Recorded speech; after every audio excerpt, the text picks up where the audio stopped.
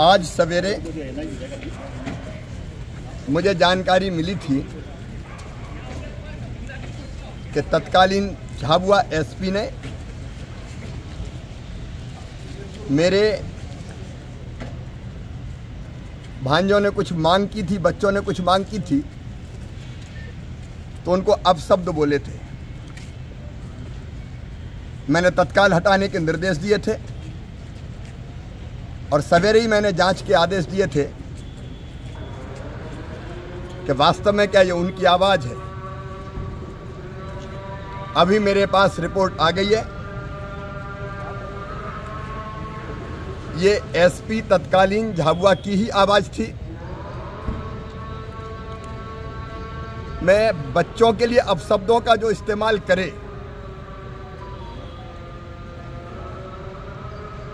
बेटे, बेटियों के प्रति अपशब्दों का इस्तेमाल करे।